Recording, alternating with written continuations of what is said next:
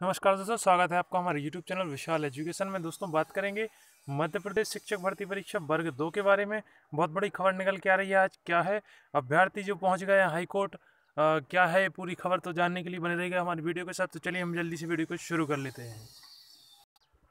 तो दोस्तों, ये आज के नव का जो है आरटी नियम के उल्लंघन एवं पदों की असमान वितरण के खिलाफ अभ्यर्थी जो है हाईकोर्ट में याचिका लगाने वाले हैं। तो पूरा डिटेल में समझ लेते हैं क्या है पूरा सिस्टम।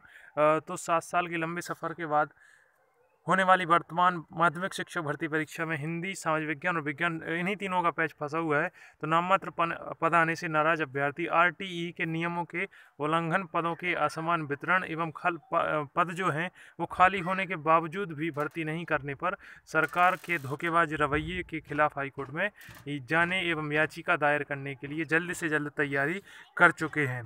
तो और छात्रों के अनुसार उन्होंने बताया है कि आरटी नियमों की धज्जियाँ उड़ाकर उनका उल्लंघन किया गया है, जिसके कारण हिंदी विज्ञान समाज विज्ञान विषयों में अत्यंत कम पद सृजित किए गए हैं। तो दोस्तों, मैं एक बहुत अच्छी चीज़ आपको बताना चाहता हूँ कि आप लोग यदि वर्ग दो विद्यार्थी हैं और आप परेशान है सरकार के इस रवैये से तो हमारे यूट्यूब चैनल में कमेंट करके आप लोग बता सकते हैं। तो जो भी सहयोग होगा हमारे यूट्यूब चैनल के द्वारा आप सभी वर्ग दो के अभ्यर्थियों और जहाँ तक कि वर्ग तीन के अभ्यर्थियों का पूरा सहयोग दिया जाएगा फ्री ऑफ़ कॉस्ट कोई इसकी वो नहीं है।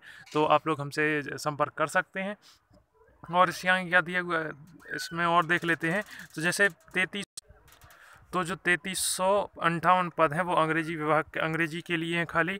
और जबकि समाज विज्ञान विज्ञान और हिंदी की बात करें तो पचास, साठ और सौ पदों के लिए है। और इनमें से ही कुछ पद तो बैकलॉग के लिए भी निकल गए हैं। तो अब जिसकी यदि मेरिट बीस नंबर पे भी यदि सामाजिक विज्ञान में तो उसको भरोसा नहीं है कि उसकी नियुक्ति होगी कि नहीं होगी। तो इसलिए ये सब हाईकोर्ट में याचिका लगाने के लिए तैयारी चल रही है।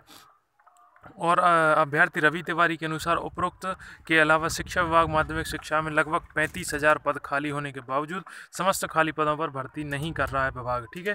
उनके अनुसार डीपीआई विभाग अपने पोर्टल पर समाज विज्ञान के तैंतीस संस्कृत बयालीस सौ इक्यानवे, हिंदी के पंद्रह विज्ञान के तेरह पद खाली बता रहा है, लेकिन सरकार ने पचास, साठ और सौ पद पर ही भर्ती कर रहा है। तो चलिए आज के लिए इतना ही। बहुत बहुत धन्यवाद।